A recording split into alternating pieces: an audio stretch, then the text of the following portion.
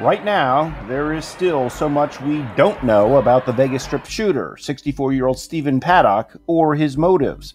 We also don't know if he acted alone or if his companion, girlfriend, Marilou Danley, was a co conspirator.